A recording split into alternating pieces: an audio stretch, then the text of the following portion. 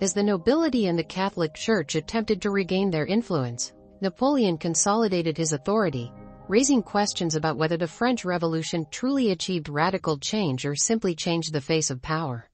This episode invites reflection on the ironies and complexities of a revolutionary movement that, in many ways, reproduced the authority structures it sought to overthrow.